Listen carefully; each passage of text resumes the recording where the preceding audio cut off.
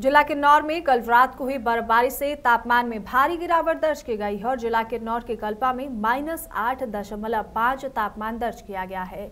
जिला के लोगों को अपने ही घरों में दुबक कर रहना पड़ रहा है, जहाँ एक और जिला के नौर बर्फ़ की सफ़ेद चादर उड़ चुका है। वहीं आज मौसम साफ़ होने के साथ आसमान पर हल्के बादल छाए हुए हैं और बर्फबारी से जिला के अभी भी सभी ग्रामीण सड़क मार्ग बंद पड़े हुए हैं, जिससे लोगों को दिक्कतों का सामना करना पड़ रहा है और बर्फबारी से जिला के अभी भी लगभग तिरपन ग्रामीण सड़क मार्ग बंद पड़े हुए हैं, जिससे लोगों को दिक्कतों का सामना करना पड़ रहा है। वहीं जिला में पिछले कल 10 विद्युत ट्रांसफॉर्मर्स खराब पड़ गए हैं। जिला में पानी की समस्या बनी हुई है। जिला के नौर के ऊंचाई वाले क्षेत्र में 6 से 7 इंच के करीब बर्फबारी दर्ज की गई है।